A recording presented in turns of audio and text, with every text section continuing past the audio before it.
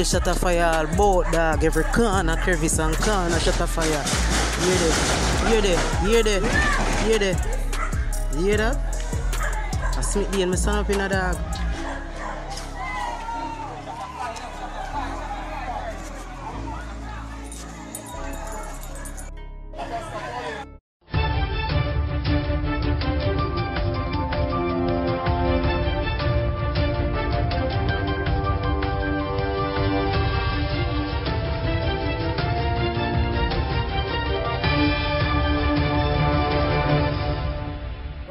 To MyView TV, the people's platform, the home of undiluted news, reviews, updates, and your daily dose of entertainment.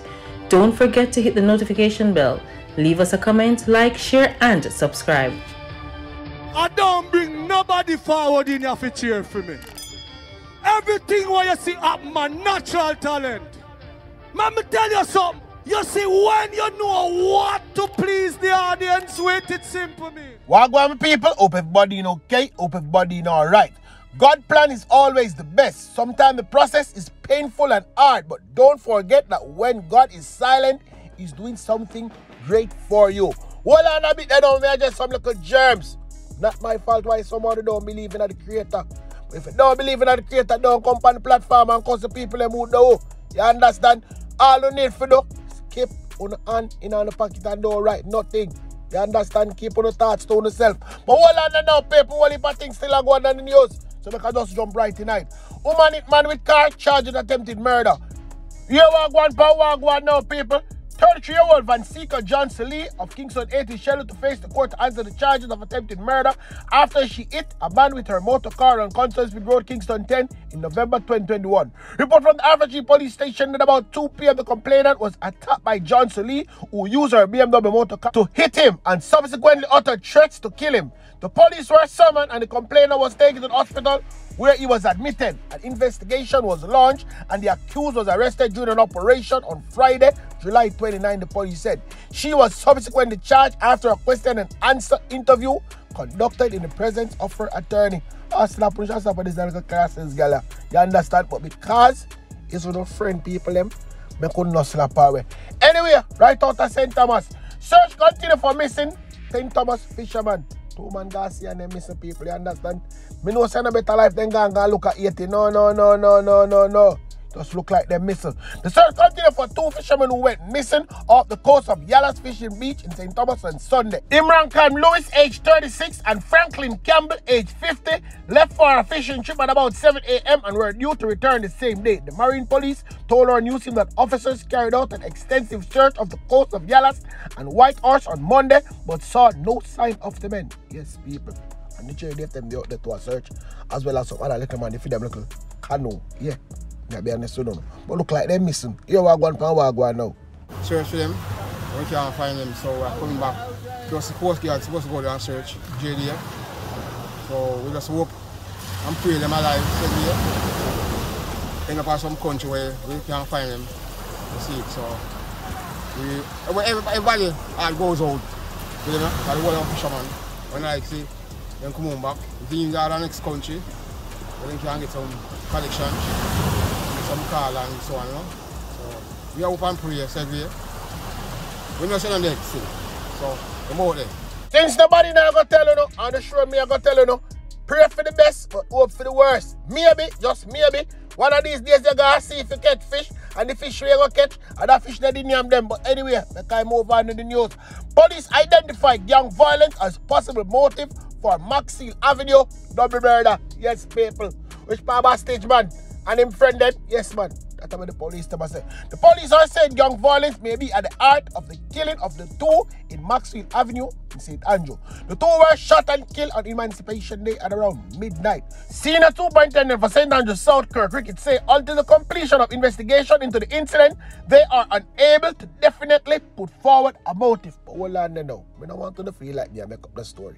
Kirk, come come talk to the people. Then. Well, at this time, I am unable to, to point to a motive. I can, however, attribute the incident uh, which occurred in an area known to have gang type violence and the fact that the, the men were killed with the use of a firearm or firearms, that it is quite likely that, you know, this could be gang related. Well, we're, we're, we're seeing, um, you know, information in social media about the perceived orientation of the victims. Uh, at this stage, our investigation is still in its embryonic stage, and um, I'm awaiting my detectives to, to give me, uh, you know, so much more, more, concrete details. So that was Kirk Ricketts. Keep back and listen to police corruption now. Policeman being sought over disappearance of money in robbery case. Yes, people.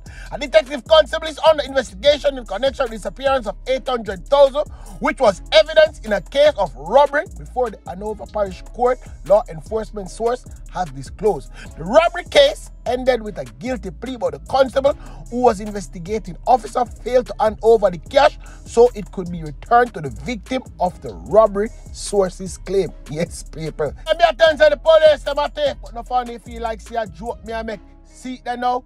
Everything I come to the forefront, you understand? Senior police officer in Hanover have confirmed that the report was made to the Inspectorate and Professional Standard Oversight Bureau of the Police Force, which is leading the investigation. According to the source, the allegation came to the attention of the police mass after the judge who presided over the robbery case wrote to them seeking their intervention to have the money produced in court. The constable is being sought by investigation or questioning. Here what? Constable go come come tell some lie. You understand? Thief a thief the people that money or slap. If you get slap with your dirty germs, boy. Hold on a bit now.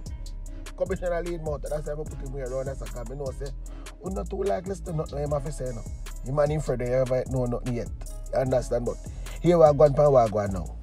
Over the last six weeks, there has been a series of interpersonal murders that have shocked the society. Apart from the one we mentioned above, we have also seen a number of gang conflicts that have resulted in multiple killings. Following the murder of 31 year old Kamisha Wright and her four children who were buried on the weekend, we saw just days later, on July the 4th, where a man used a knife and murdered his bedridden wife, also in Clarendon. We saw in St. Anne a dispute between two persons at a restaurant, resulting in one person stabbing another to death. Also in St. Anne, three persons succumbed to wounds that were inflict inflicted during what appears at this time to be a family dispute. Although suspects may be charged, families and communities are still left to grieve. So I'm asking that people report cases of disputes before they escalate into violence. Services, including our domestic violence intervention centers, are available to people, and I encourage persons to utilize these services. We're also seeing a number of cases where people are being killed and their bodies buried or disposed of, as was the case in Kingston Western, where the dismembered bodies of four persons were removed from shallow graves. These are just some of the cases that have influenced the 4% increase we are now seeing.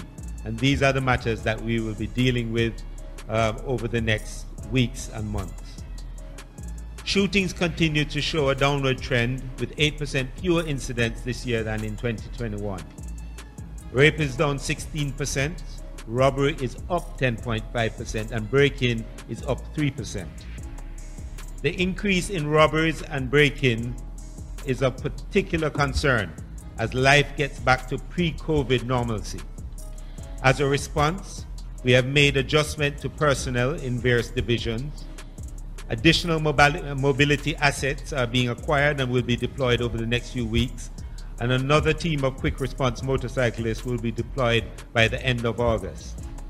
And also, divisional commanders have been instructed to review their anti robbery strategies in light of these changes.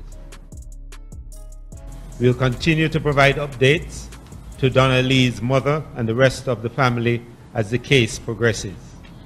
I believe it is also appropriate that I highlight the challenges we face when conducting an investigation in an atmosphere where fake news abounds. When I use the term, I'm not referring to news with, with inaccuracies. I'm referring to fabricated and misleading stories in relation to an investigation. Every time these fabrications are published, They not only divert the attention of the police, but they further traumatize the grieving family and loved ones and enrage the genuinely concerned. It begs the question whose agenda does this serve? These fake news elements do not serve the interests of the family.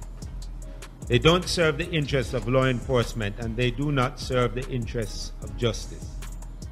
When fake news muddies the water and causes people to lose faith in the integrity of the judicial process, it only benefits the guilty.